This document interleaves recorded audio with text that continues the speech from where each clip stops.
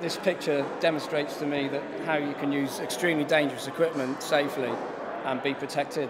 As you can see, my colleague uh, is wearing full eye protection and face protection, flame-proof equipment as well. And uh, the, the petrol-driven disc cutter is uh, it's, it's, a dangerous tool.